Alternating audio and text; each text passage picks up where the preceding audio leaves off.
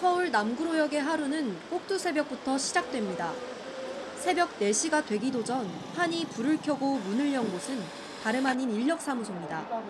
하루 일감을 구하기 위해 수많은 노동자들이 매일 이곳을 찾습니다. 하루 평균 9시간에서 10시간이라고 15만 원 안팎을 받을 수 있습니다. 운 좋게 일터에 나가게 된 노동자가 있는가 하면 첫날이라 하니까 5시에 간다. 빈손으로 돌아간 이들도 있습니다. 저 사람들이 일하러 다 못 나간다고 거지만 절반 이상 노동자들을 태우고 건설 현장으로 가는 승합차들도 확 줄었습니다. 픽업하는 차량 숫자가 많이 줄었다더라고요. 원래 4시 한 4, 50분 되면 이 도로에 차 세울, 우리말로 그냥 차 세울 데가 없습니다. 일자리가 지난해에 비해 확 줄었기 때문입니다.